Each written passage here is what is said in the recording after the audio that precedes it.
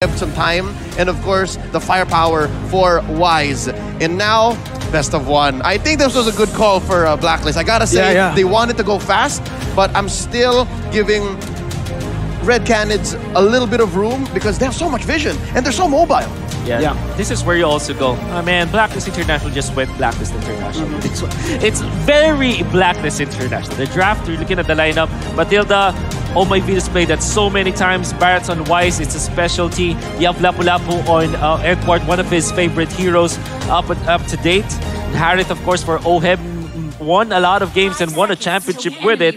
And a Kagura for Haji, as we saw one of the best mid lane heroes that he was able to get is this Kagura. So this is uh, so much comfort for the side of Blacklist International. Absolutely, but guess what? It's time, ladies and gentlemen, for the first match of the M3 World Championships. We're getting into the land of Dawn, where again, Blacklist International, with their composition, will have early prio. It's gonna be very hard for the side of Red Canids to get anything done here in the early stages with literally four scaling heroes. I don't know, man. I feel like you're giving Blacklist a little bit too much room. We'll see how that fares for Red Canids. Right now, Jumpstyle just going to use a Retribution, securing that orange buff in the early game. Again, not much they can do here to go for the Little Wanderer.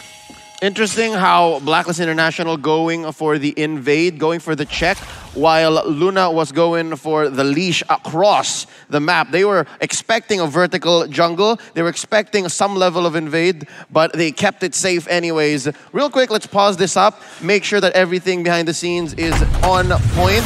And I gotta say, we're off to a safe start. These two teams, they know each other. I, uh, I'm aware of scrims happening all throughout the quarantine. I know that they know each other on a more than just face level. On a, on a surface value, these two teams have studied each other very well, Yeah. and they're showing so much respect. Yeah, I, I want to say it's a different playstyle, at least in the early stages. The laning configuration is definitely different for both teams.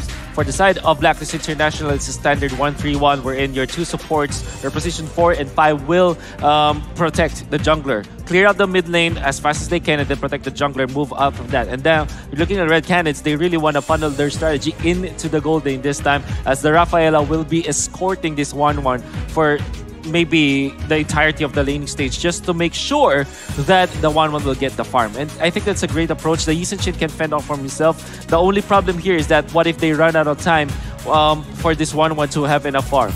I'm, I'm scared of Upatizi, honestly. Upa here has a great game, especially if, And he's got a TZ. yes. And he's got a teasing. if, if he does get the babysitting that Luna's willing to provide. Yeah. I- I saw the interaction and I saw the rotation. Luna was on his way to Upa. And Harith, Oheb, we've seen him come through worse. We've seen the young man, the young gold laner from Blacklist, survive so much pressure. Yeah. But against a 1-1 that has a Rafaela on him, I, I foresee diving shenanigans. Yeah, I, I honestly cannot remember what Oheb picked up as the battle spell, but if it's a purify, then it means that it will be a free game for him. So looking at the Yeah. composition of Blacklist, uh, sorry, of, of Red Canids, there's not much lockdown in there. I in agree. fact, there's only like the Rafaela and maybe the stun of the um, of the Pharsa, but that's hard to land. So technically speaking, this will be a great game for Oheb, especially after being picked up third. Imagine this. Third pick for Blacklist International, there's not an answer for any kind of hard CC on that Harith. And I'm scared for Red Canids because of that fact. I I agree on that completely, but I do want to touch on the fact that Red Canids, they picked up the 1-1 over the Clint, right? Clint, again, being a very good, very uh, dominant laning hero here in the early stages of the game. I thought for sure that they want to go for that Clint, get that lane dominance, lane kingdom up in the gold lane, get just shut Oheb down from the get-go, but they went for the 1-1 instead. So right now, I'm still pretty confused as to why they did that. Maybe you guys know, do you guys Yeah. have a expla- an explanation for that? I see 1-1 a lot in MPL Brazil. Just taking Okay. a look back at uh, the regular season, their playoffs, even uh, well into uh, Liga Latam right before we got into M3, uh, the 1-1 shows up very, very often. And it's either that or the side lane uh, mages like uh, like Lunox, which is often banned, as you saw earlier here, right? Yeah. So now back into the game, you can see that yes, Luna is going to be babysitting Upa, TZ, but just the same, Oheb, he is he's, he's not having a good time only because only because Blacklist's about to just rotate. Check this out. Yeah, there you go. Haji goes in. Unfortunately, unable to do anything here. Blacklist will just go ahead and try to take that gold buff right now. Will be able to secure it as Jumpstyle doesn't have the retribution just yet. Blacklist International so far right now with a 10 gold lead. Just a very, very small gold lead, but a turtle cam right there presented to you by TikTok Live as we are perhaps going to go into another pause for now here, Leo. Love the uh, huge swing. That visit uh, by Luna was timed well by Blacklist International, so they were able to bother the Rafaela and the 1-1 up top, open up this first turtle at about two minutes, as you can see right on the pause. Um, between the Uranus and the Lapu Lapu, that's why Lapu Lapu is so strong in this metagame, in any metagame, is because in the XP lane, he's, he's nigh unbeatable. Bravest fighter at minute two is disgusting. It is. It really is disgusting. But unfortunately, we do have another technical pause here from the side of Blacklist International. We can see a little bit of frustration actually from Luna right there. Maybe getting, you know, the emotion, the mental game is huge here, even in the best of one. So We'll see. We'll see what happens here. But so far, Blacklist are the ones to initiate another technical pause. This does give us a little bit more time to, you know, speak on the drafts here, right? Uh, again, they have a very hard front-to-back composition. They literally want to just play kiting back with the 1-1, with the Pharsa, with the Yi Sun-shin as well, and the frontline Uranus. But the thing is, Blacklist International with their composition, they will be able to control the tempo of the game from the start to the mid-game, I suppose, until that's where Red Canids can try to come back. You know, that's where they start to get their own tempo, get their own power spikes. But what are, you, what are your thoughts on this? Because it's the complete opposite of what we just uh, touched on earlier on. We said that Blacklist are the ones that take the games to long distances, whereas Red Canids, they like to go in for the early game plays. Yeah, no, that's exactly what's going to happen here. Yi Sun-shin he scales uh, not as good as a Nathan, not as good as many other hybrid uh, cores in this game currently in the metagame. But just the same, they have a, uh, a Pharsa, they have a 1-1. And it sounds like I'm about to say something good about Red Canids, but actually, all of these heroes are great targets for uh, the Circling Eagle. Great targets for yeah. the uh, Detona's Welcome. And four out of five. It, it's only really Akashi who should not be hit by the bravest fighter, but almost anyone can be one off of a duel yeah. by Edward on the Lapu Lapu. Yeah, there's a chain stun coming up from Blacklist International. We can see, like you said, Circling Eagle Detona's Welcome. Good single target uh, lockdown for sure. And then you have uh, uh, Lapu Lapu good initiation, especially good backline um, gap closer. The Lapu Lapu. And then the Kagura obviously is your AoE. If you're looking at Red Canids, it's not about just the lockdown. In fact, they only have the Rafaela as their hard stun here. And it's not gonna be good. However, they have so much damage in the party. Imagine Yi Sun-shin as well as the Pharsa. This is good coverage. Uh, almost uh, global presence in there high reach as well, big amount of damage from long distance. It means that if they do catch Blacklist International off guard, it will be a uh, treat for them. That might be one thing. That might be one thing that Red Canids has over Blacklist, the range. I can see certain situations wherein Blacklist is chasing. And because of that holy healing, Red Canids just gets away with a lot. I guess that's why I remember now seeing some MPL Brazil matches wherein the scoreline would be something like 2 and 3 in 15 minutes. Oh. Well, it's because they, they, they play so safe, Red Canids yep. specifically. So I guess that's why they get into their rivals' heads. Vivo um, K-Star so much. That's why they keep winning those uh, big grand finals because they understand. They know the, the, the, cat and mouse game. They understand the dynamic. Yeah, they're playing to they're basically playing to wait for the mistakes to come from their enemy, from their opponents here. But yes, we're still in a technical pause right now. I do want to remember everyone back at home who are watching, please do be patient with us. Obviously here at M the M3 World Championships, fair play is the number one priority. So if there are any connection issues or maybe just any issues whatsoever, we want to get that through first. That's why the pause is here. So please do be patient with us, everyone who is watching. We are just as excited as you to get into the games as well. Yep, uh, hopefully this is uh, the first of the last uh, that we go last, through. Yeah. yeah. because this is again just a best of one, ladies and gentlemen. A best of one meaning this lineup here, the 5v5 uh, between the very mobile, very fast, very kiting lineup by Red Canids going up against, um, as Mirko put it, front to back, just all in strat by Blacklist. It's, it's gonna matter. This is one point closer towards an upper bracket slot in the playoffs. I, I believe after the pause, we just uh, saw a turtle take. I mean, we missed a turtle take. Yeah, we did miss a turtle take. Not sure who got it right now. I think it is this uh, from the side of Blacklist International right now. You know, based on the compositions, they should be able to get that. Right, Yep. yep, it is going to be Wise who picked up that turtle. so we are back in the game. A little sliver of that turtle buff aura. Yeah, I Yeah. saw that. Yeah.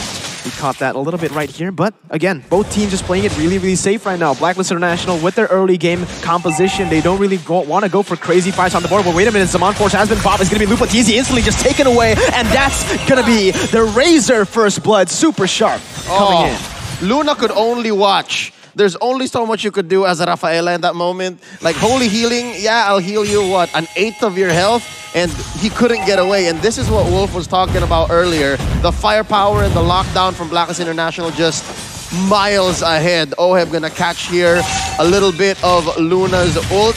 Jump style to the rescue could not lock on Oheb.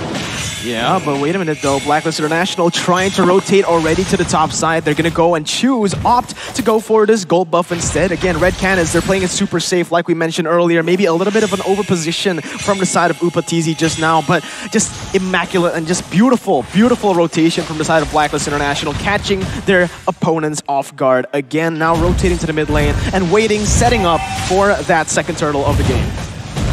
Interesting how the turtle just uh, came back to its original spot. So as random as this is, it's great. Oh, Yeah. circling eagle. Circling Eagle already onto Upatizi. Seems like a little bit of a miscommunication right there as Blacklist International. They didn't really want to go for that. Venus went in, tried to go for a little bit more damage as they set up towards the Turtle Wise, already hitting on that. And Frost needs to be careful here. We'll just try to, you know, withstand the wave, try to handle and keep the wave at bay. Mount Shocker just in time to see Blacklist take it. Turtle Lane brought to you by the STB. Now, Red Canids putting a little bit more pressure up top.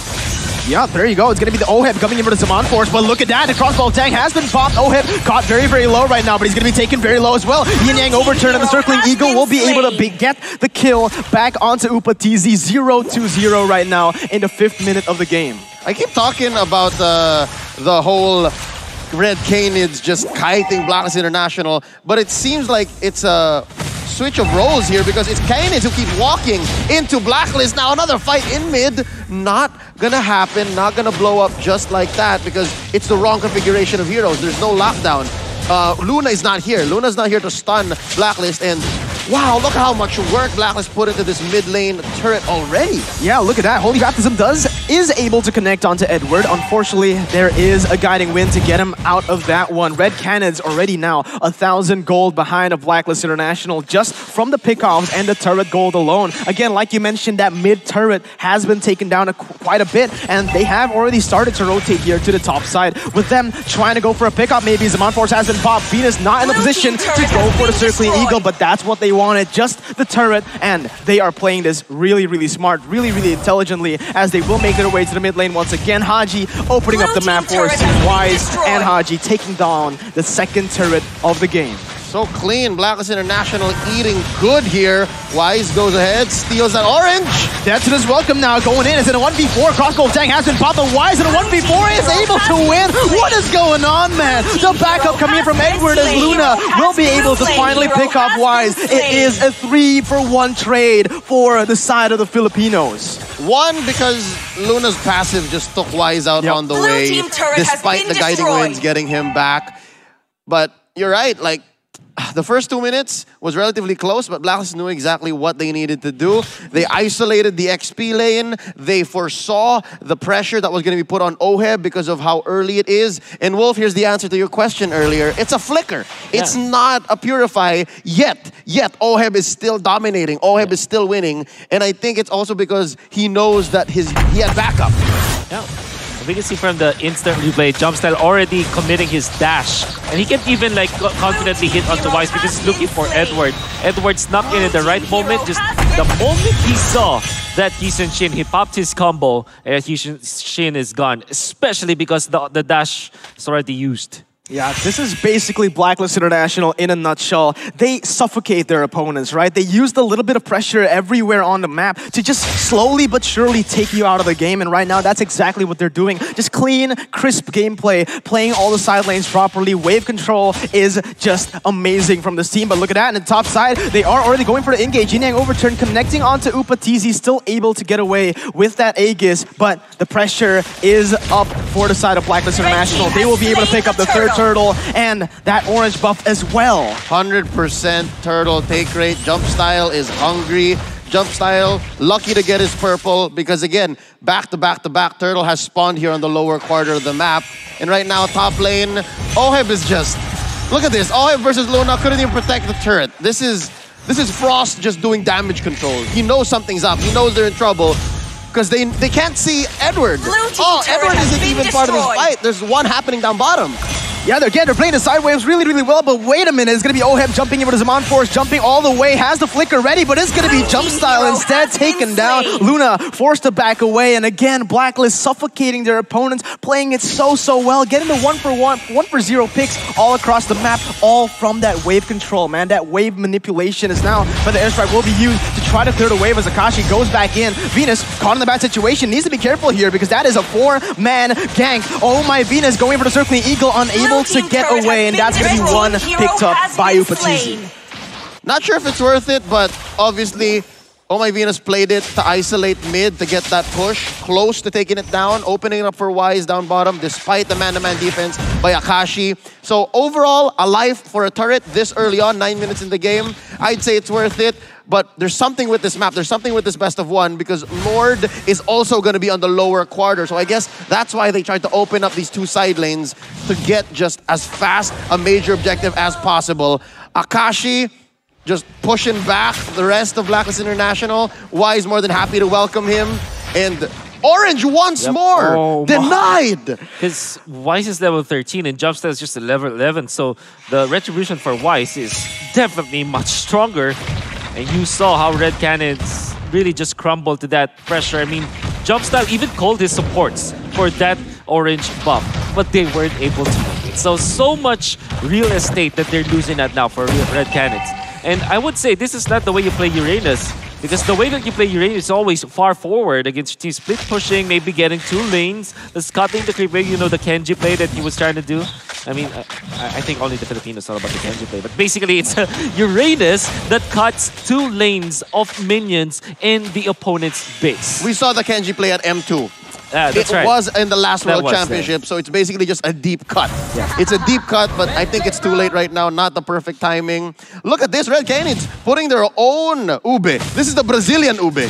Yeah, the Brazilian ube right here is wise. Actually, now will be able to be zoned away for a bit, but again, like we mentioned earlier, Blacklist, this is the way they play the game. They just suffocate their opponents, playing the waves perfectly, freezing it, and not letting Red Canids get even a little bit of gold here. In the 10th minute of the game, it is already an 8,000 gold lead for the Filipino champions. Is gonna be crazy. You know what you saw from Red Canids? This is the second time that they tried to go for like a lot of players. The first time they did it was three heroes around the orange buff, and then they did five heroes around the purple buff. You have to take note, buffs get stronger the more heroes around there is. And that meant that Wise can just bully them.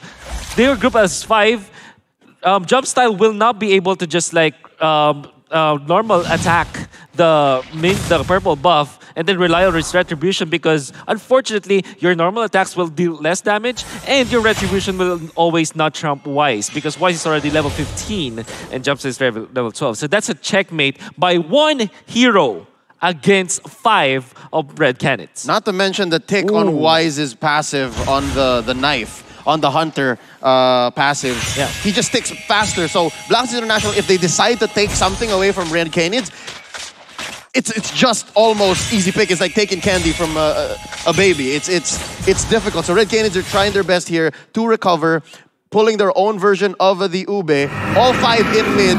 Mountain Shocker just to check where everyone is, and they see, oh no, they see that Blacklist is going for the Luminous Lord. Man, they're so smart with this stuff, man. Look at that. They set up the slow push perfectly, timing it when the Enhanced Lord comes up, and there you go. There's just no response from Red Canids. They can't do anything at this point. If they do try to Red contest, they're surely going to be wiped Lord. out. And there you go. There you have it. Blacklist International with the Enhanced Lord and a 9,000 gold lead in the 12th minute of the first game here at the M3 World Championships. Two to six. I just gotta say the kills that they got on Blacklist were one was a distraction kill, the other was just a deep dive by Wise. So so far I can say Blacklist International hasn't committed any errors. This is a clean game for them. Yeah, de- definitely. Only Blacklist International, they're very famous with their Matilda Airlines, and Oh My Venus really dons that uh, Matilda. We were talking about how this will be like a duo or a trio in the mid lane, wherein the supports and the jungler will join out together and just kill, get kills and make the plays of the map. Look at both the position 4 and 5 of Blacklist International. Both of them have 100% kill participation, right? This is how you can say that your support duo is doing wonders. It's insane, honestly, right now with the Enhanced Lord marching that top side. Venus will try to zone them away from this, but he's got to be careful because Red Canids, they have the abilities ready and up right now. for the airstrike being used, but Enhanced Lord will march into that inhibitor turret. There's nothing Red Canids can do as of this moment. They're, be, they're going to be able to take that inhibitor destroyed. turret and that tier 2 in the mid Blue lane out for nothing. destroyed. There is nothing on the board for Red Canids to do or even trade for. Top lane already penetrated. Bottom gonna follow through.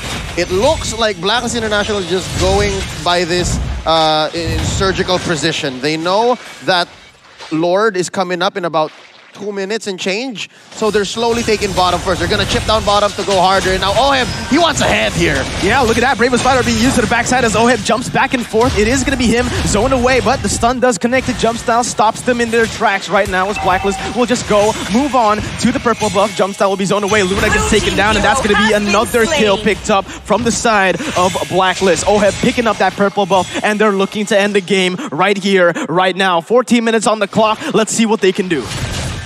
What Red Canids can do here is basically find the one who's away from the Ube, but it's not gonna happen because of the guiding winds, and they're still going. There's another fight. There's another fight indeed. Haji goes in, picks up the kill. Jumpstyle just does no damage at this point. And Blacklist, again, surgical, clinical game right now. They are not dropping anyone. They're playing it so, so cleanly. And you can see they are getting one turret, backing away, getting another one, playing their waves, playing their objectives, doesn't want to leave anything, doesn't want to risk anything. That's just beautiful. Beautiful execution from Blacklist International, especially how they did it. This was a textbook play coming up from Blacklist International. Use your Lapu-Lapu to peel the back lines, have someone, you know, separated from each uh, from the, the opponent's team and then peel it off. Then pick it uh, pick it off. And that really happened with uh, Akashi. Knowing that he doesn't have Purify, Blacklist International went ahead and got the Uranus kill. And without the Uranus, there's really no one to face Blacklist International from Red Canids. And I'm definitely sure that we're going to see it in the replay. You see how decisive they were on using this Lapu-Lapu as their main peel against Blacklist Inter- against Red Canids. Yeah, Akashi had nothing to do here. Akashi has been having a difficult game. The 0-2-2 line is going to speak for itself. And yeah, he's the only one who can actually peel. Luna is not your traditional roamer. Luna is not a tank in this game. And a whole healing on a Uranus that was bullied for a majority of this game, maybe for 12, 13 minutes so far of the 16 minute bout. It, it's hard. So what's Akashi to do? I'm also curious because I'm sure he's getting the call here to say, okay, try to try to go find Oheb, try to go find Venus, take uh, take as much as you can from them, and then distract them so that maybe Jump Style can go find the kill and open the map up for Frost. And that's a blessing in disguise, I think, because Frost hasn't died yet. So Frost is playing a good range game, but for how long can they do this? Because now Haji just picked up the Divine Glaive. He's gonna hurt all the more. Yeah, that's the thing, man. Uranus is a good front line. If you let him scale, if you get and shut him down all the way from the early stages, he is very, very squishy, actually. You know, he has that regeneration from his ultimate, but still, he is very, very squishy here. And as you can see, Blacklist once again plays and going, is going in for the team fight here. Circling Eagle onto Luna. Not much going on right now as Red Canids still able to go away, but Edward jumps in for the Bravest Fighter all the way to the backside. Oh! Minute still there as Jump Style actually picks up a kill onto Haji. Upatizi now going in for the kite, going in for the oh. crossbow of Tang, doesn't get it, and he's taken very low. It's gonna be Oheb picking up the kill. Akashi running for the hills right now as Blacklist International are trying to go for it. Detona's Welcome being popped, not gonna be able to connect onto him, but it's gonna be Akashi running for the hills. It is the circling eagle to lock him down in place, and there's a Mount Force to finish him off. The killing spree now for the side of the Filipino gold laner. Gotta appreciate what Akashi was doing, and we were wondering what's Akashi to do. There's the answer. Just distract Blacklist International, but he can only do that for so long. There's only two defenders left on the side of Red Canids. There's no way Luna's gonna survive this. It's a two-man assault. Jumps out the only one left. No way, dude. Jumps out, jumps in. Winner's Truncheon is just there as oh, hip gets away. Not for long, though. He's going to get shut down, and that's going to be Red Canids still able to defend the game for now. But at what cost? They've lost everything at this point, and the Enhanced Lord is up for grabs for Blacklist International. Wolf, any thoughts on that fight? That was Red Canids surviving by skin of their teeth, but Blacklist International playing it so well. Fortunately for Edward, he missed his combo just because of the Uh, we, we call it the ship, the skateboard for the Sinchins. Boosts up, boosts up his speed. That's why he was able to dodge the combo of the Lapu Lapu. But it won't matter as much. Yeah, they will survive for maybe uh, a, a few minutes more. But Blacklist International will get the second Lord of the game. This will jump through the composition, the, the, the base building of Red Canids, and that's going to be deadly. Red Canids needs to keep Frost safe for now so that they will have the wave clear that they needed. Good shutdown from Frost. As they were able to look at this, look at how Jumpstyle was able to get out of there, freestyling over Edward, and he actually stunned the right guy, which was Oheb, mm -hmm. followed up with this feathered airstrike. In all due fairness for Red Canids, that was a nice defense on their part.